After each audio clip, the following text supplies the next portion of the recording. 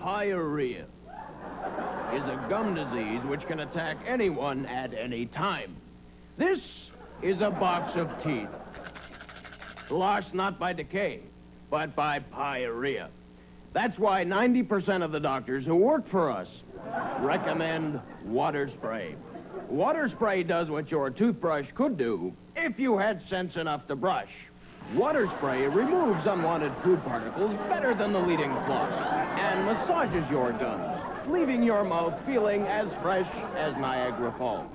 So before your mouth becomes a permanent embarrassment and a crushing medical expense, try water spray from Pocketpic and smile again.